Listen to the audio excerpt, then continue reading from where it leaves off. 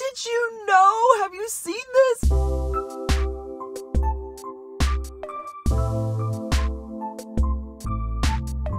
What's up, everybody? I'm back. I'm here doing my Monday vlog from my car, and I just like this environment better. I think I think better in here. I don't know what it is. Eric and I were talking about that.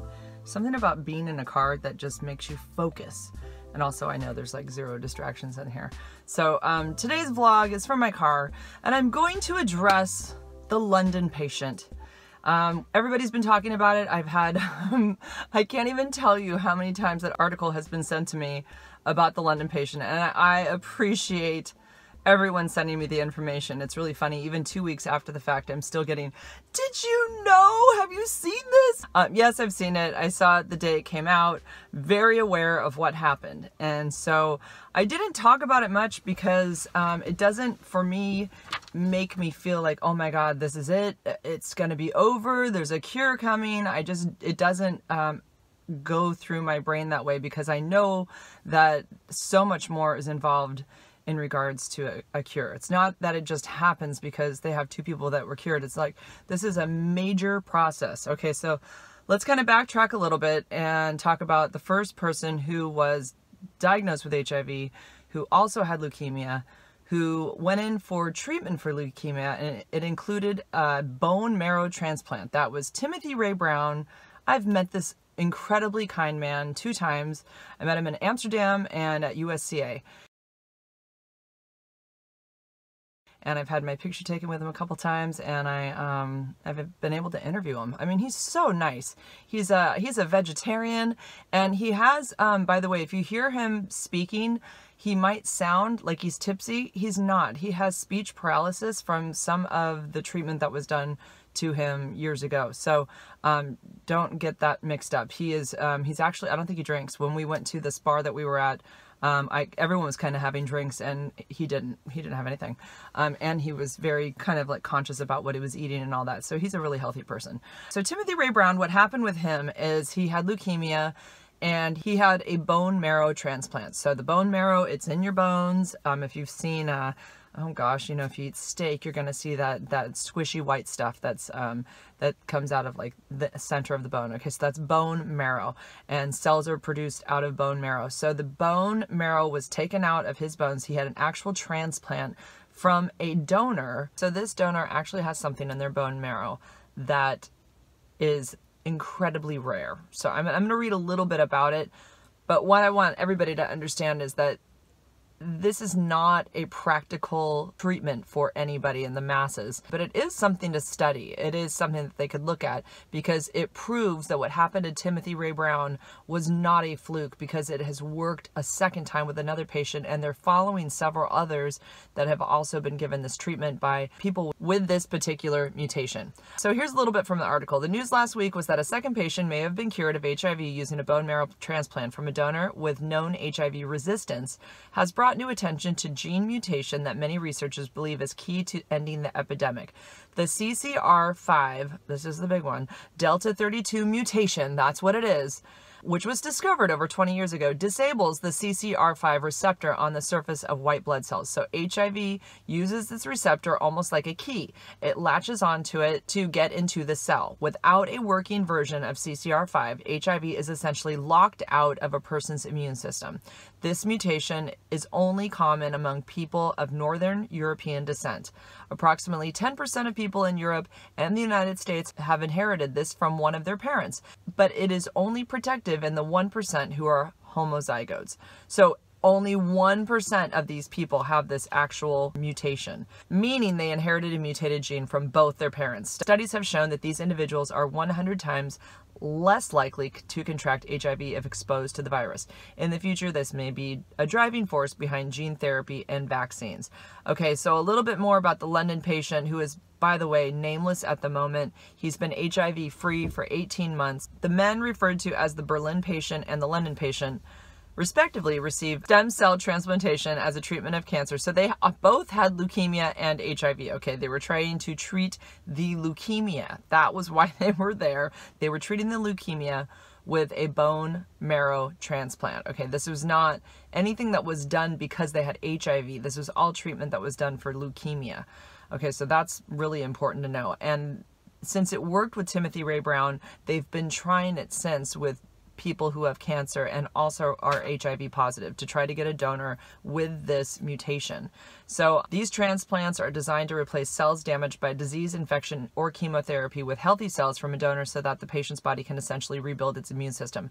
In these cases, doctors choose donors with a CCR5 delta 32 mutation in hopes that when the immune system is rebuilt with the new cells, it could also fight off HIV without medication. So the treatment, however, is very intense as it requires patients first to kill the existing marrow cells with chemotherapy. So they've got to go through all of that first, or radiation to take drugs to suppress their immune system so that it does not attack the new donor cells. The Berlin patient was later identified as Timothy Ray Brown and has now been HIV free without medication for 12 years. Brown, who was being treated for leukemia at the time, came close to death during his treatment and was even put into a medically induced coma at one point. Researchers tried for years to replicate the success they had with Brown, but HIV kept returning in subsequent patients. Some worried that Brown's success was not proof that the CCR5 delta 32 mutation was the key to treating HIV as hope, but instead just a fluke brought on by intense, nearly fatal radiation. So it wasn't a fluke. They're actually finding that what happened with Timothy worked. It really did, and it also worked with this other patient. And they're they're monitoring some other people that are also going through the same treatment, and they're going to see if they also come up HIV negative after. Then in March 2019, researchers announced the success of the London patient, who we all have heard about now, who was asked not to be named.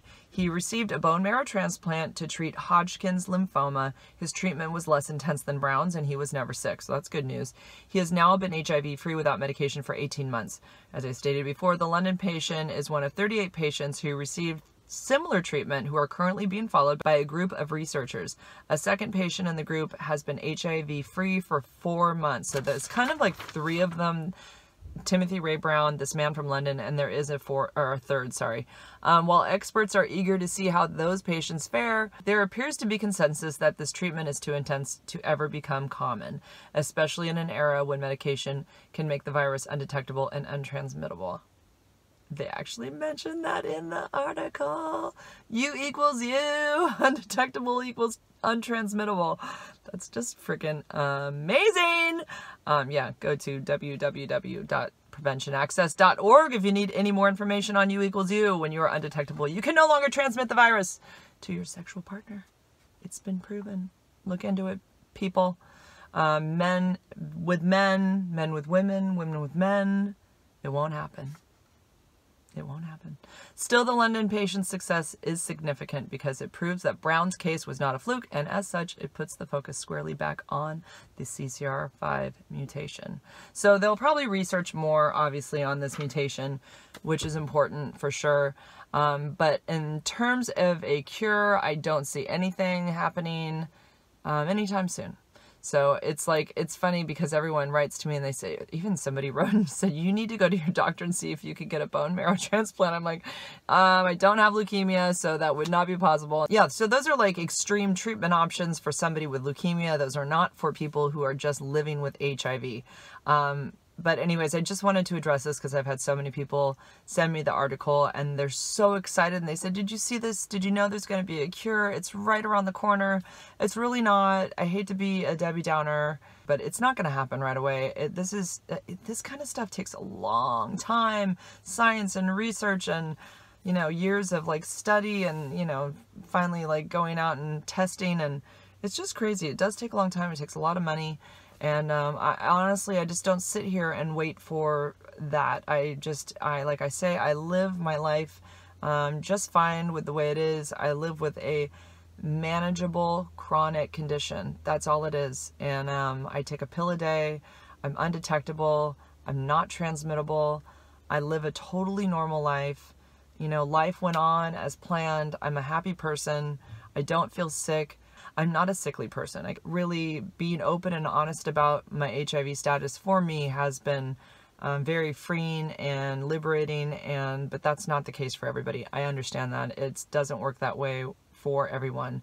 I'm very, very, very lucky to be in a position um, to be open and honest about it. And I have a lot of support around me in order to do that. I understand those who prefer to keep their status private, and for many reasons, it's probably better. And I do understand that as well. So, um, with that said, I hope that clarifies a little bit more about the London patient and what it means for people living with HIV. And, um, you know, there's always hope. There's always hope, but it's um, not something that to me is anything immediate or around the corner. And um, I'm, like I said, I'm just fine living with the way it is status quo. Even the injections, I'm like, man, whatever. I mean, if it happens, it happens. If it doesn't, it doesn't. Uh, I just take that pill every day and just keep chugging along. So, you know, I mean, I'm almost 50. And honestly, I keep thinking, Christ, I'm like, I'm almost 50. Like, I have maybe 30 more years left in me. That's not that long. Like, that goes by in a blink. I just had my 30 year high school reunion. 30 years. I feel like I was in high school three years ago. So that in itself is a little terrifying. And so I'm just going to do the best I can with the next 30 years that I have. And, um, and I want to spend every minute of it feeling happy and being feeling blessed to still be on this earth and um, doing all the things I want to do. And um, like I said, if it just means taking a pill a day to be able to do all those things, then that's just fine with me. So, okay, you guys, have a great week. I'm going to stop rambling and um, we will see you soon. Please comment, like, and subscribe. Again, don't forget about U equals U, undetectable equals untransmittable. And um, I need to wear a shirt. I'll do that next time. I'm sorry, Bruce. I have not been wearing my U equals U shirts. It's actually um, St. Patrick's Day today, so I'm dressed in green. And um, I did a live earlier with Eric, but um, I need to start wearing my shirt. I will. I'm so sorry. It's it's nothing intentional. It's just me being forgetful. So, okay, guys. Bye. Love you guys. Bye.